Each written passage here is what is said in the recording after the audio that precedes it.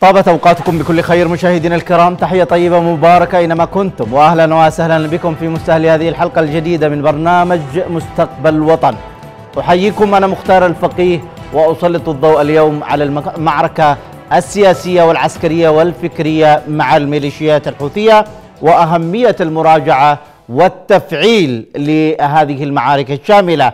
فاليمنيون يدركون تماما خطورة الميليشيات الحوثية وحقيقتها وأنها مجرد أداة وذراع إيراني بحت في المنطقة ومنطلقه الجمهورية اليمنية ولديه أهداف فكرية وعقائدية وسياسية وعسكرية تتعارض مع الهوية اليمنية ومع العروبة بشكل عام. يدرك اليمنيون حقيقة هذا المشروع الخبيث مهما حاول أن يتدثر بالمناسبات الدينية أو يتغطى بجماهيرية مزعومة لا يدرك البعض منها. وحقيقة هذه الجماعة أو أن البعض الآخر أيضا غرر به أو أن البعض اضطر للمسايرة في ظروف معينة.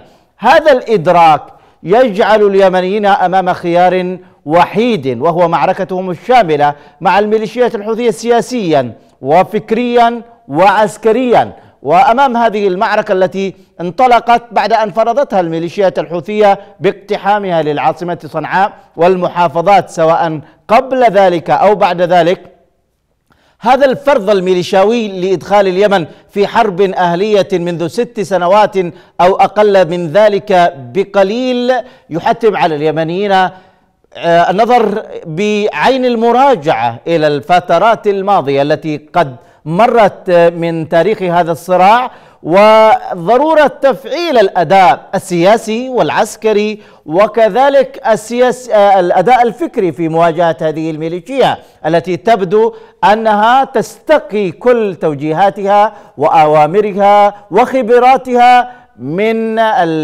المشروع الإيراني وحزب الله وغيره من الميليشيات في المنطقة وتحاول أن تحرث الأرض وتقلبها من أجل آه، جعلها صالحة لهذا المشروع. هذه المراجعات وهذه وهذا التفعيل فكريا وسياسيا وعسكريا هو موضوعنا لهذه الليلة من برنامج مستقبل وطن يسعدني أن أناقش هذا الموضوع مع ضيفي عبر الإنترنت الأستاذ فيصل علي والدكتور فيصل علي رئيس مركز يمنيون للدراسات. دكتور فيصل أهلا وسهلا وطابت أوقاتك بكل خير. مساء الخير أخي مختار. أهلا وسهلا بكم وبكل المشاهدين الكرام. تحية طيبة لك دكتور فيصل. وفي إطار موضوعنا سنحاول أن نفرد لكل نوع من أنواع هذه المعارك مع هذه الميليشيات مساحة ابتداء بالسياسية ثم العسكرية ثم الفكرية وإن كانت الفكرية أكثر أهمية. لكن في ضوء الواقع السياسي مبعوث اممي يتحرك بدون هوية وبدون وجهة وبدون رؤية متجاوزا للقرارات الدولية ويقدم ما يسميها بخطة الحل الشامل متجاوز راضيا بالواقع ويدعو إلى وقف إطلاق النار ولا أكثر من ذلك. وهناك رفض لهذه الخطة ومعاولة لإعادة مراجعتها. بينما الحكومة الشرعية وفئاتها المختلفة تعيش واقعا سياسيا داخليا مختلفا. كيف تقيم الواقع السياسي اولا؟ المبعوث الدولي الذي فشل في تطبيق الحل الجزئي والخطة الجزئية التي وضعها في ستوكهولم لما يتعلق بالحديدة كيف اليوم يطالب بتمرير خطة شاملة وكبيرة لحل القضية اليمنية وهو لم ينجح في خطة جزئية؟ هذه يعني على الشرعية أن تتعامل بكل وضوح مع هذا المبعوث الدولي وتتعامل بكل شفافية سواء مع مع الجمهور اليمني وتطلعه على على على كل الأمور وأيضا عليها يعني بكل وضوح وطالب بهذا كثير من الناس أن تطالب باستبدال هذا المبعوث الدولي لأنه يعني يتدخل في شؤون آه، يعني أكبر منه. عندما ذهب إلى مأرب يريد من قيادة مأرب تسليمها للحوثيين. وعندما أوقف عملية تحرير الحديدة هذا المبعوث الدولي يشتغل ضد مصلحة اليمن ويشتغل ضد مصلحة السلام في اليمن. آه، لذلك على الشرعية أن تكون واضحة في التعامل معه وكذلك على التحالف.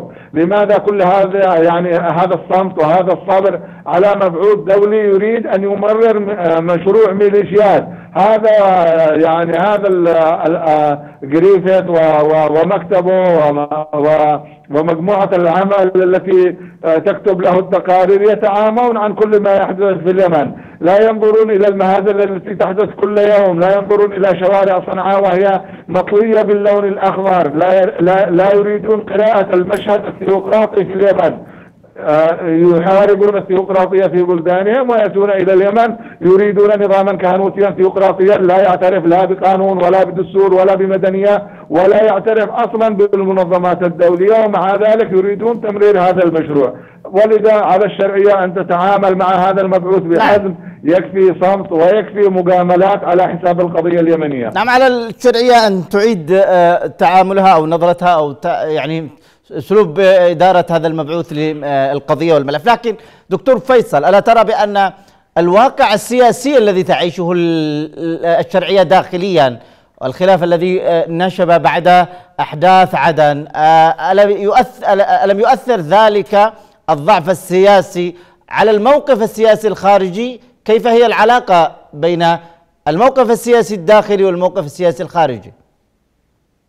بكل تأكيد إضعاف الشرعية من قبل آه، بعض القوى التي يراد أن يراد لها أن تتسلق على ظهر الشرعية كالمجلس الانتقالي الذي يراد أن يكون يعني يراد له أن يكون جزء من هذه الشرعية آه، بما يخدم مصالحه ويخدم مصالح من يقفون خلفه. ولا يعني وليس عليه أي التزامات ما زالت الحكومة ضعيفة بسبب الانقلابات وبسبب الاضطرابات التي أحدثها سواء في سقطرى أو في عدن أو في غيرها من المناطق اليمنية التي يتواجد فيها. تنفيذ الشق السياسي من اتفاق الرياض الأخير بدون الشق العسكري هذا هو أيضا إضعاف للشرعية. الشرعية اليوم إذا كانت يعني تستطيع ان أن تلملم صفوفها وتلم هذا الشعث وتقدم التنازلات لهذا الطرف أو ذاك يجب أن يكون ذلك كله لخدمة القضية اليمنية ولخدمة الملف الداخلي والخارجي. لا يقل هذا الملف عن ذاك وهو ملفان مرتبطان.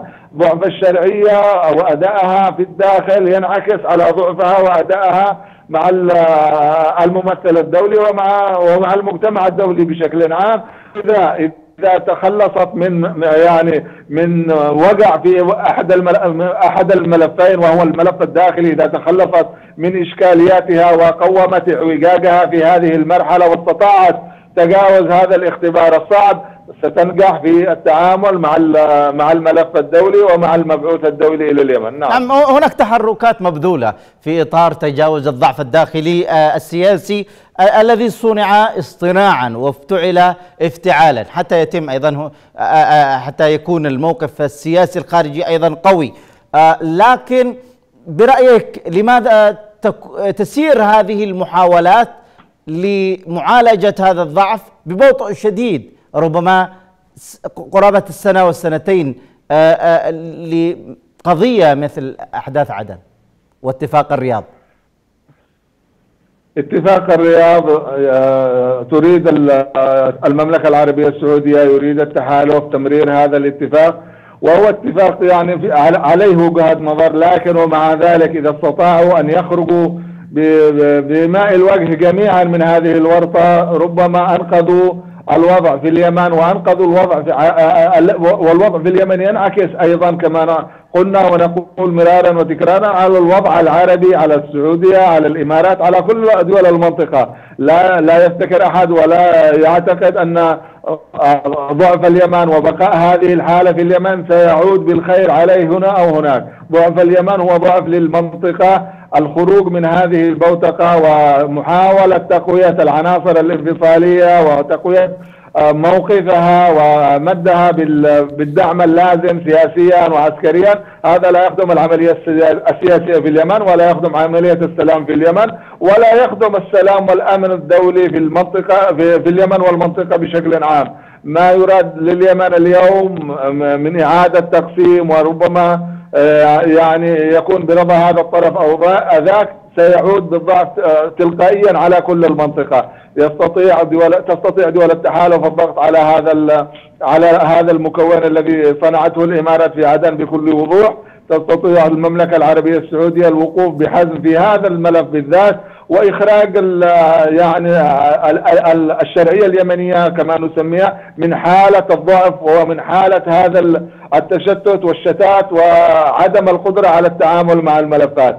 أيضا الشرعية يجب ان أن تكون مبادرة ل يعني في في في مثل هذا الأمر وتطرح المقترحات لا تنتظر من التحالف أن يفعل الكثير على الشرعية برجالاتها بالرئيس ونائبه بكل القادة والأحزاب أن يكونوا أيضا مبادرين ولديهم يعني طموح للخروج من هذه الأزمة التي تجتاح اليمن أو أو قيمت بظلالها على اليمن منذ ست سنوات.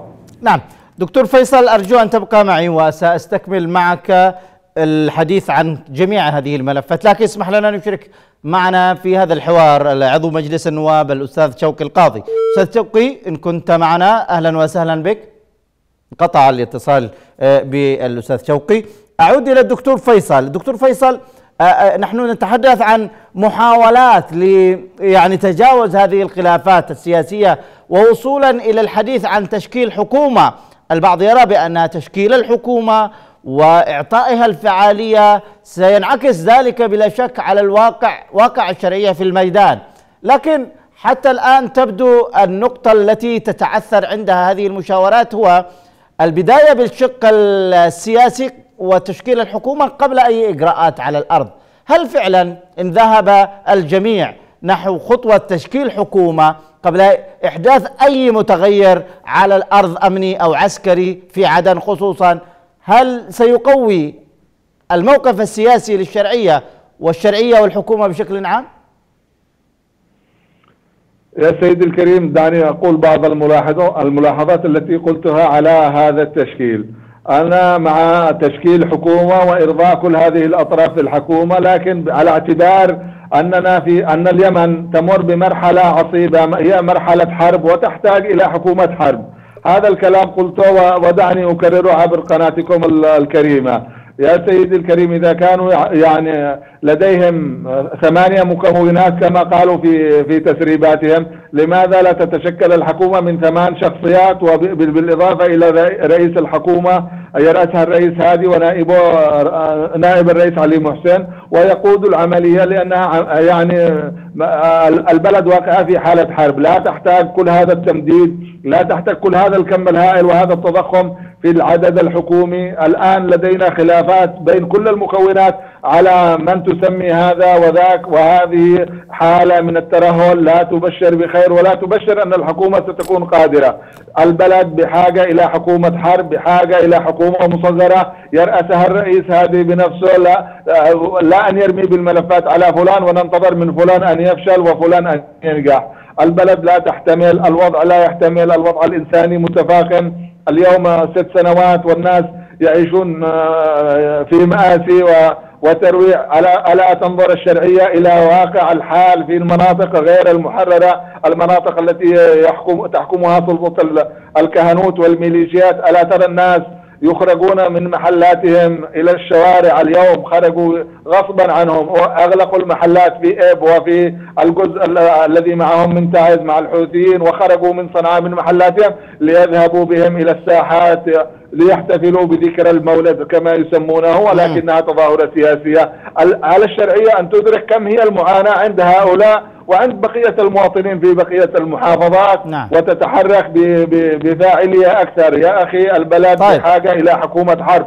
وجود حكومة قوية حقيقية لديها القدرة على تنفيذ القرارات ومعالجة المشكلات بكل تأكيد سينعكس على ملف القضية اليمنية وسيسرع من عملية آه، تحرير المناطق غير المحررة مم. وتطبيع الأوضاع في المناطق المحررة نعم دكتور وإعادة الحياة وتطبيع الحياة وإعادة المرتبات للناس وإعادة الحركة آه، الشبه الموقوفة في المطارات والموانئ وفي ما بين المحافظات ورفع كل المخ... يعني آه هذه الفعالية. تفصل المواطنين عن بعضهم. نعم. هذه الفعالية دكتور فيصل اسمح لي أنقلها إلى آه، آه، ضيفي عبر الهاتف عضو مجلس النواب الأستاذ شوقي القاضي. أولا مرحبا بك أستاذ شوقي. أهلا وسهلا بك وبضيفك الكريم. تحية طيبة لك أستاذ شوقي. ونحن نشير إلى مسارات المعركة الشاملة مع الميليشيات الحوثية الثلاثة سياسيا وعسكريا وفكريا. واليمنيون يخوضون معركتهم مع هذه الميليشيات في هذه الاتجاهات الثلاثة لكن واضح أنها تحتاج إلى مراجعات وتحتاج إلى إعادة تفعيل بشكل أفضل. كيف يمكن تفعيل هذه المسارات؟ بحيث تؤتي ثمارها وأكلها بشكل أفضل مما هو عليه الآن. شكرا لك وشكرا لضيفك الكريم الذي سمعت آخر كلامه وأنا أتفق معه جملة وتفصيلا. ويبدو أنه وضع النقاط على الحروف. أخي الكريم يبدو أن هناك خلل واضحا ليس يبدو هناك خلل واضح جدا في أننا نفتقد إلى ليس إلى حكومة حرب فقط وإنما إلى رئاسة حرب إلى قيادة حرب. ومن ثم تأتي مكوناتها كلها لهذا الهدف. يا أخي الكريم إذا كانت شرعيتنا تفتقد إلى غرفة عمليات آه، ذات صلاحيات مطلقة وذات مستوى عالي من اتخاذ القرار. فمن أين ستأتي هذه؟ من أين ستتحقق هذه الأهداف؟ يا أخي الكريم للأسف للأسف هناك ارتخاء وهناك نسيان تماما إلى للأهداف. يعني تخيل يا أخي الكريم ست سنوات ال ال ال ال الوطن يزداد لا سمح الله يزداد ضياعا سيادته تزداد ضياعا المواطن كما ذكر ضيفك الكريم الأستاذ فيصل يعني ينهار في كل مجالاته الاقتصاد ينهار المواطنون دخلوا يعني نسبة نسبة نسبة الانهيار كبير جدا. ولهذا ماذا سنتحدث؟ يعني ما الذي يمكن أن يكون إذا أقرينا من البداية أنه لا توجد أصلا رئاسة حرب، رئاسة دولة تتناسب مع أهداف المرحلة، وبالتالي كل كلامنا الآن سيأتي تحصيل حاصل، نحن نتحدث الآن على اتفاق الرياض وثم نتحدث عن تشكيل حكومة.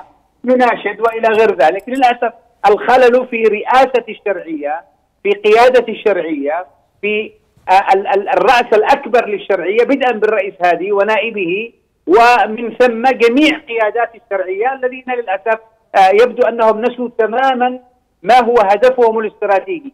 هناك هدف استراتيجي ينبغي أن لا ينسى وهو إنهاء انقلاب ميليشيا الحوثي وتعزيز مؤسسات الدولة. لا أنهيت ميليشيا الحوثي بل لا زالت تتمدد وتهدد المحافظات المحررة وتعزيز مؤسسات الدولة مؤسسات الدولة غائبة ويعني أصبحت فقط لا غير آه، تعتمد على شخصية المحافظ أو المسؤول هنا أو هناك. ما الذي يمكن أن يفعله؟ مع شكرنا لكل من يقدم جهدا لكن غرفة عمليات آه، آه، لتحقيق الهدف الاستراتيجي غائب تماما وللأسف يعني. هذه النقطة الأولى غرفة عمليات لتحديد وتحديث وتفعيل الجانب العسكري. فيما يتعلق بالجانب السياسي والفكري.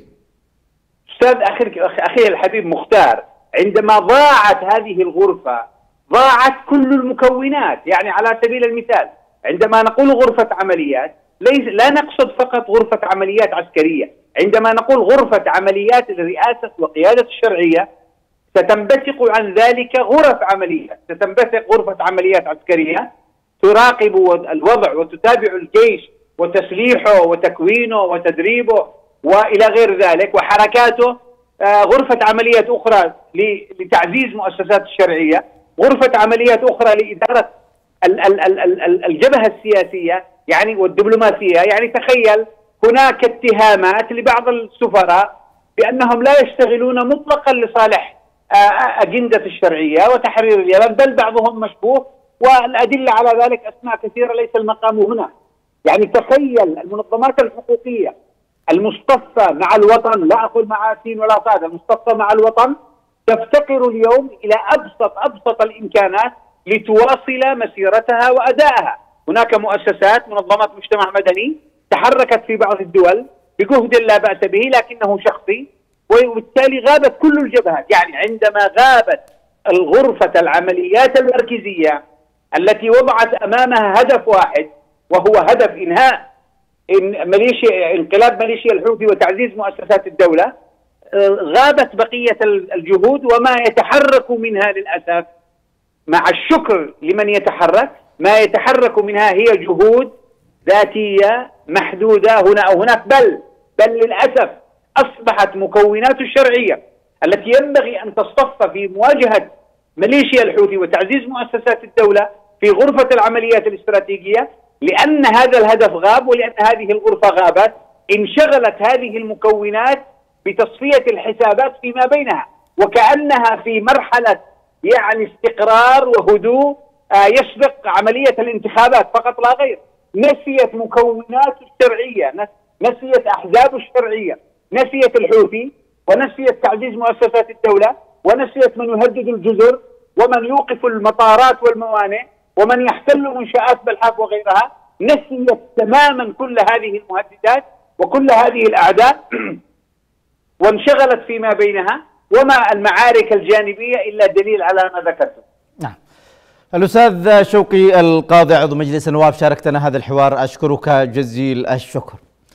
وأعود إلى الدكتور فيصل الدكتور فيصل علي رئيس مركز يمنيون للدراسات. دكتور فيصل رغم هذا الخلل الواضح الذي أشرت إليه والذي يبقى يعني يعتبر من أعلى الدرجات التي صعبت حلحلة الوضع منذ وقت مبكر إلى أن هذه المعركة طبعا هي معركة جميع اليمنيين قادة سياسيين قادة أحزاب منظمات مجتمع مدني شيوخ قبائل ورجال قبائل ومواطنون ومثقفون ومفكرون الكل.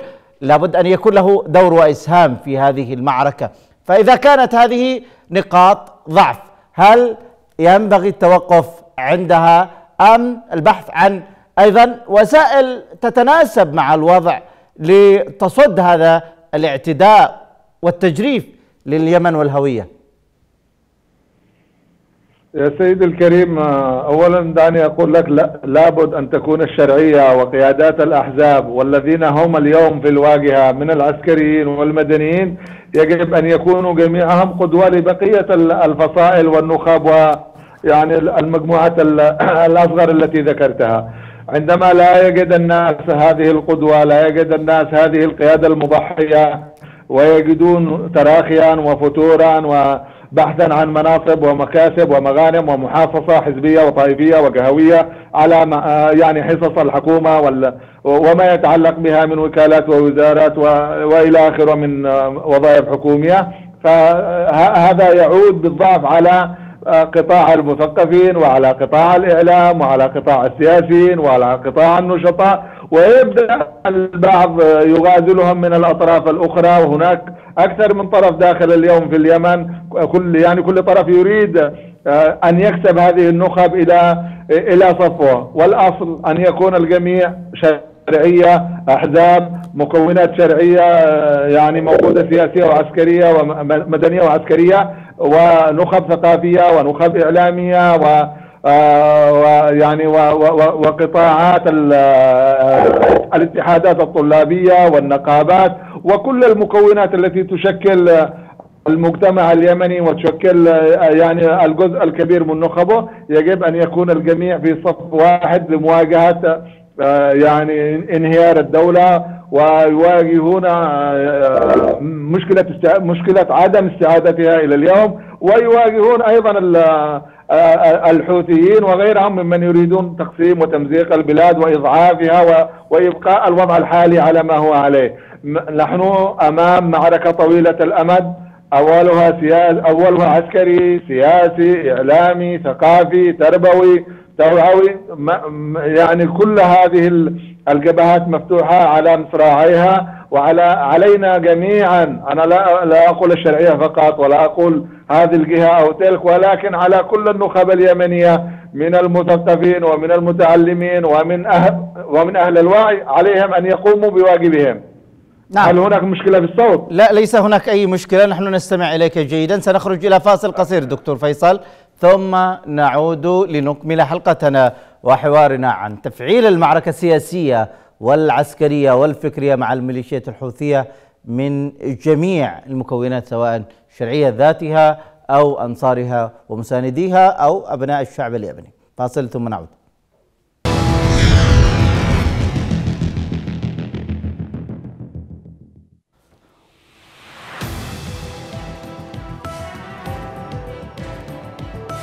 مرحبا بكم مشاهدينا الكرام. بعد هذا الفاصل القصير عدنا إليكم لنكمل حلقتنا وحوارنا مع ضيفنا الدكتور فيصل علي رئيس مركز يمنيون للدراسات حول المعركة السياسية والعسكرية والفكرية مع الميليشيات الحوثية مراجعات وتفعيل.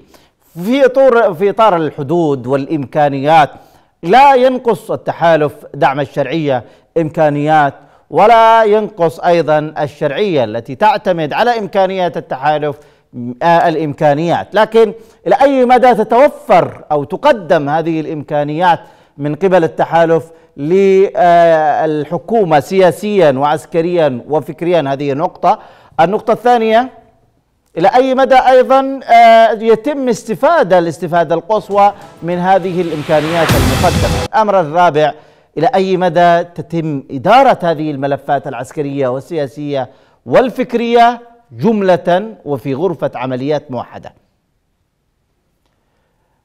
الآن مع معنا عاد إلينا الدكتور فيصل علي. دكتور فيصل أستكمل معك الحوار وفيما يتعلق بالشق العسكري. واضح أن قيادات ورجال وأبطال في الميدان اليوم هم حاجز الصد الأول عن الجمهورية واليمن والشرعية بشكل عام. وكذلك رأس الحرب الأولى التي تضرب الميليشيات وترهقها ويعني تكبدها الكثير من الخسائر. لكن تبدو كثير من العمليات العسكرية كجزر معزولة عن بعضها. كان من المفترض أن تكون الجبهات كلها متحركة وفاعلة من حدود صعدة إلى حجة إلى الجوف ومأرب. ووصولا إلى البيضاء والضالع وتعز وغيرها. هناك طوق يطوق الميليشيات من جميع الاتجاهات لكنه يحتاج إلى تفعيل أكثر. كيف تنظر إليه؟ من وجهة نظر سياسية أيضا عسكرية. وما الذي يحتاجه من وجهة نظرك؟ لا يوجد مشكلة كبيرة يعني عند الضباط والقادة الميدانيين في في مختلف الجبهات. لا توجد لديهم مشكلة كأفراد وكضباط وكجنود. المشكلة في عدم آه، يعني آه، منحهم ما يحتاجونه من معدات ومستلزمات للقيام بأعمالهم على أكمل وجه. لديهم خلل في المعدات لديهم خلل في التسليح. أيضا هناك اليوم آه، آه، تقنيات جديدة دخلت في العمليات العسكرية الطيران المسير. آه، قل لي اليوم ونحن نسمع ونشاهد يعني خلال الفترة الماضية طيران الحوثي المسير يضرب الجيش الوطني هنا ويضرب ال... ويدخل في العمق السعودي وفي الإمارات مرة أو مرتين تحركت باتجاه طيران مسير. لماذا لا يمتلك الجيش الوطني مثل هذه التق... هذه التقنية والتي ليست بالغالية والتي ليست بعيدة عن التحالف ولا عن الشرعية. يا سيدي الكريم يعني مجموعة لو أقالوا مجموعة من الوزراء ال 24 القادمين و يعني واوقفوا مرتباتهم لمدة سنة اشتروا مجموعة منظومة متكاملة من من هذه الطائرات بمرتباتهم ولا أسندوا الجيش في مواقعهم. الجيش الوطني بحاجة إلى مرتبات بحاجة إلى تسليح بحاجة إلى أن يرى قياداته العسكرية وقياداته السياسية في يعني قائمة بمقامها وتقوم بمهامها على أكمل وجه. بعض هذه القيادات العسكرية الكبيرة والرفيعة ما زالت تعيش على النظام السابق وتعيش على الرديات وعلى آه، التجنيد الوهمي هذا كله غير مقبول في معركة تحرير وطنية بهذا الحجم الجيش الوطني بحاجة إلى إسنادنا بحاجة إلى إسناد الشعب له بحاجة إلى إسناد كل القوى نعم. وكل المثقفين لا, لا نرد أي يعني أي هزيمة أو أي أي انتكاسة أو أي إحباط نردها باتجاه الجيش أبدا. الجيش الوطني يقوم بمهامه على أكمل وجه وهو وأفراده بدون مرتبات تمر الستة الأشهر والثمانية الأشهر وهم يعني على وجبة أو وجبتين. هناك خلل كبير آه، يعانوا منه في مسألة التموين. أيضا بعض آه، قطاعات الجيش للأسف يعني في بعض المناطق تحولت من العمل العسكري إلى أعمال أخرى كما يحدث في تعز وهذا يجب أن تعالجوا يعني قيادة المحور في تاز وقيادة الجيش هناك. لا نريد أن نسمع عن الجيش الوطني إلا كل خير. نعم. فهو القائد فهو القادر على حسم هذه المعركة. برغم كل هذا الضعف أؤكد لك أنه قادر صحيح. على أن يهزمهم من الذي اليوم مثلا في معارك مأرب في, يعني خلال هذه الفترة؟ كم استعد الحوثيين وقادوا قطعانهم إلى الموت؟ من الذي تصدى لهم؟ هو هذا الجيش الوطني الذي يتهمه البعض بالتفصيل. بالك لو تم تفعيل المعركة عسكريا بشكل أفضل؟ دعني دكتور فيصل أستكمل هذه النقطة مع العقيد الركن يحيى أبو حاتم مستشار وزارة الدفاع. أولا مرحبا بك سعادة العقيد يحيى. أهلا وسهلا بك وبضيفك العزيز وجميع مشاهدين قناة الشيب. تحية طيبة لك. نتحدث عن المعركة السياسية والعسكرية والفكرية مع الميليشيات الحوثية وضرورة إحداث مراجعات وإعادة تفعيل لها بشكل أفضل وحتى إن كان بعضها فاعلا. فيحتاج إلى فع- تفعيل من مستوى أعلى لتتناسب مع حجم الكارثة التي مرت بيمننا والذي ربما تحدد مستقبله. وهنا أسمع منك إلى كيفية تفعيل مؤسساتنا آه، الدفاعية والعسكرية ضد هذه الميليشيات بشكل أفضل مما هو عليه الحال. حياك أخي الكريم، حقيقة آه، لا يختلف اثنان على أن المعركة هي معركة آه، وجودية لأبناء الشعب اليمني آه، أمام هذا التغول وهذا ال- ال- التطرف الذي والفكر الأسود الذي أتانا من تحت عمائم سوداء. ومسألة المعركة العسكرية لا لن تكون مجدية. إذا لم يكن هناك معركة فكرية وإعلامية تتزامن في نفس الوقت مع المعركة العسكرية التي يخوضها الأبطال في جبهات القتال. هناك معارك أخرى آه، أهمها المعركة الفكرية آه، التي لابد أن آه، تتحرك وبوتيره عالية لتوضيح آه، آه، ال- الأفكار ال- ال- المغلوطة وال- و- وال- والتي آه، دخلت على الدخيلة على ال- ال- ال- الفكر اليمني وعلى الشعب اليمني وعلى حضارة هذا الشعب العريق. آه، أيضا ال- المعركة العسكرية كما تكلم ضيفك العزيز يجب أن يكون هناك مراجعة من قبل القيادة ومن قبل القيادة مع التحالف العربي آه، لكل سواء الأخطاء السابقة ومحاولة تصحيحها وتلافيها أو الإيجابيات ومحاولة تعزيزها والدفع بعجلة آه، ال- ال- العمليات العسكرية آه، بشكل أكبر. اليوم آه، يعني هناك بعض الأشياء أخرت الحسب العسكري أو آه، يعني آه، قد نقول أنها أعطت ال- ال- ال- ال- ال- ال- العدو بعض الوقت لكي يتحرك هنا وهناك نتيجة إيقاف الجبهات ال- الأخرى، كل هذا نتيجة أنه لم يكن هناك توحيد غرفه العمليات العسكرية بشكل واحد، لم تكن الجبهات كلها تعمل بشكل متناسق، أيضا ما حدث في الجنوب آه، أثر بشكل سلبي على العمليات العسكرية و آه، يعني شتت جهود الحكومة الشرعية والتحالف العربي في اتجاه آخر كنا آه، يعني آه، بعيدين كل البعد عنه وفي غنى عنه اليوم أنا في اعتقادي أن ال- الجميع مطالب آه، وخصوصا القياده السياسية والعسكرية آه، في الحكومة اليمنية وكذلك التحالف العربي بإعادة النظر في كل العمليات العسكرية. نعم دكتور يحيى هل ما زلت معي؟ نعم معك أخي الكريم معك. ختمت آه، الحديث وكأنه انقطع آه، آه، بنا الاتصال. آه، طيب دكتور. يبدو أنني آه، أنا أنني استشعرت أن ال- الخط قطع ولذلك توقفت. ولذلك أقول آه، إذا إذا إذا سمحت لي في إكمال الحديث. تفضل. أن أن أن, أن, أن نحن اليوم أمام معركة كما تكلمت فاصله وهذه المعركة لم تعد يمنية يمنية، اليوم المعركة هي ما بين ال- ال- ال- التبدد الإيراني ويعني أو الغزو الإيراني وما بين المنطقة العربية ككل، اليمن أصبحت ساحه حرب، جماعة الحوثي حولت المناطق التي تحتلها إلى قاعدة لانطلاق آه، يعني إيران باتجاه المملكة العربية السعودية سواء بالصواريخ أو بالطائرات المسيرة، نحن اليوم أمام معركة آه، مفصلية للأمة العربية ككل. ولن تكون الأمة العربية في مأمن ما لم يكن هناك دعم كبير جدا للجيش الوطني ولابطال الجيش الوطني وللحكومة الشرعية وتمكين الحكومة الشرعية من مؤسسات الدولة ومن ممارسه مهامها على الأرض. ويعني بإحداث يعني نقلة نوعية يعني في سواء في العمل الخدماتي أو في العمل العسكري على الأرض. فأنا في اعتقادي أن اليمن ستسلم. لا سمح الله على طبق من ذهب لايران، اليوم إيران تدفع بكل ثقلها مع هذه الجماعة يعني سواء عسكريا أو سياسيا أو أو أو حتى اقتصاديا، بالمقابل نحن اليوم مع التحالف العربي ومع الاشقاء المملكة العربية السعودية نقف في خندق واحد ويجب ان ان أن تتلقى الحكومة الشرعية كل الدعم. أنا أتكلم على الدعم العسكري الدعم السياسي الدعم الاقتصادي. نحن أمام معركة آه، ستلتهم الجميع إذا لم يتوحد الجميع. وأنا أعني التوحد كل الأمة العربية مطالبة أن تقف إلى جانب المملكة العربية السعودية التي تقف إلى جانب اليمن في معركته المصيريه والمعركة اليوم لم تعد معركة اليمن وإنما معركة المنطقة ككل الجيش نعم. الوطني يقاتل نيابة على الأمة العربية بدعم من الأشقاء في المملكة العربية السعودية ويجب أن يصمت هذا الجيش وأن يدعم هذا الجيش حتى يستكمل المعركة ويحرر كل اراضي الجمهورية اليمنية. العقيد الركن يحيى أبو حاتم مستشار وزارة الدفاع شاركتنا هذا الحوار أشكرك جزيل الشكر.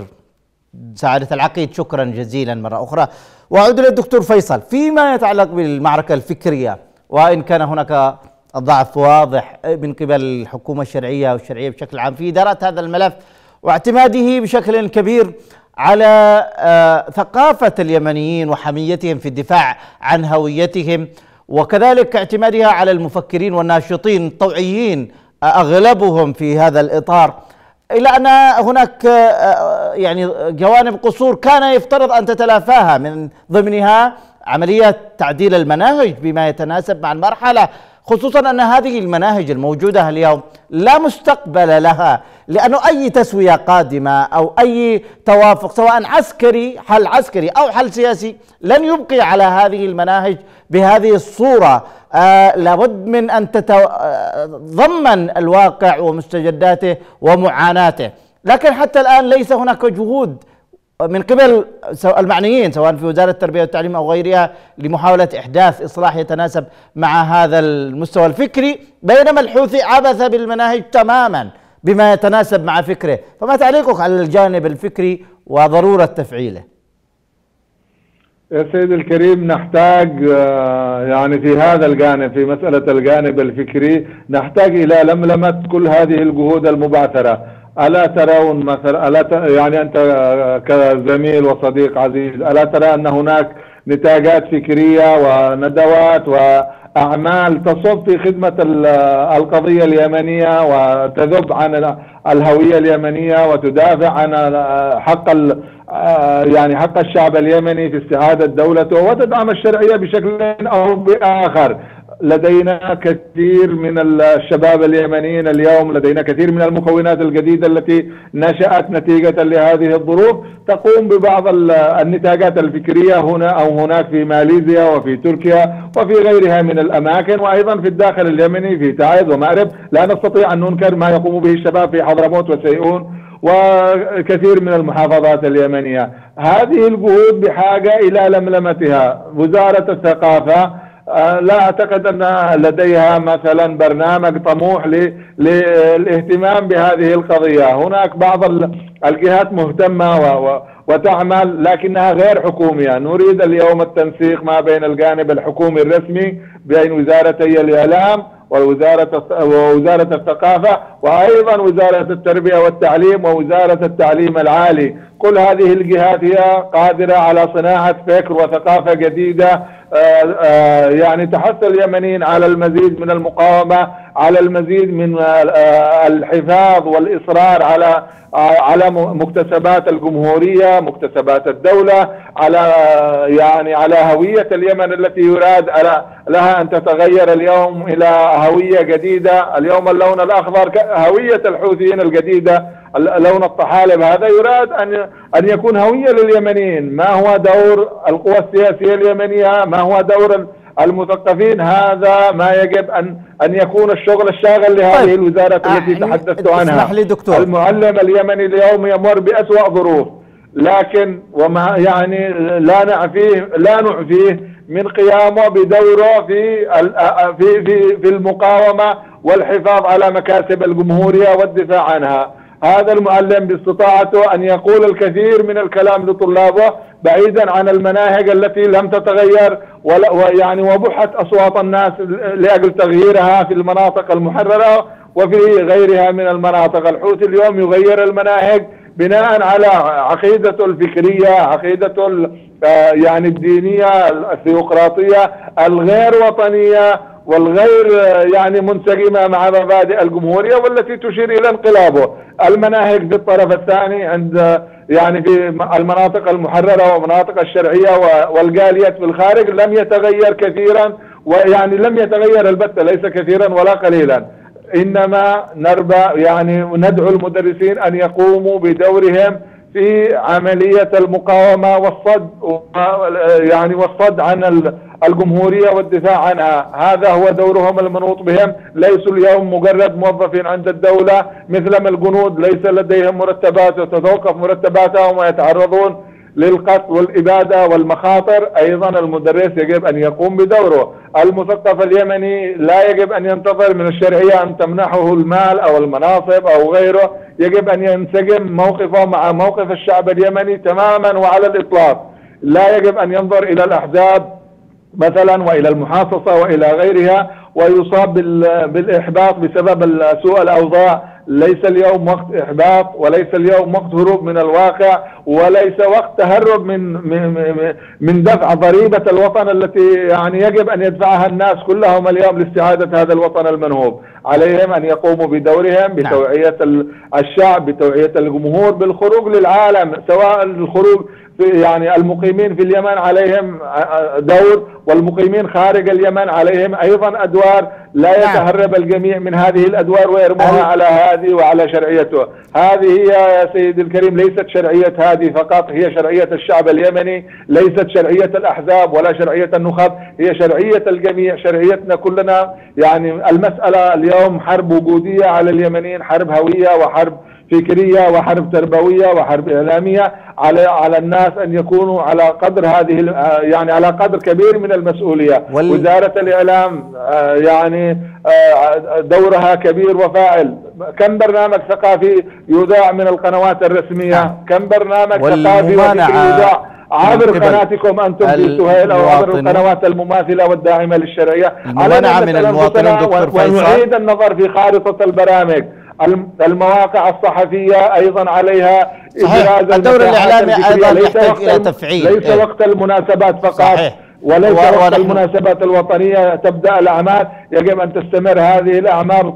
يعني طيلة الأيام حتى ننتهي من من مشكلة عذرا على المقاطعة دكتور فيصل أيضا الجانب الإعلامي الذي أشرت إليه في غاية الأهمية وهو يندرج ضمن المواجهة الفكرية مع هذه الميليشيات وتبيين وتفنيد فكرها. أشكرك جزيل الشكر وصلنا معك إلى الختام دكتور فيصل علي رئيس مركز يمنيون للدراسات كنت معنا. سعيدين بك. أشكرك جزيل الشكر. مشاهدينا وصلنا إلى ختام هذه الحلقة. تحياتنا جميعا لكم. نستودعكم الله وإلى اللقاء.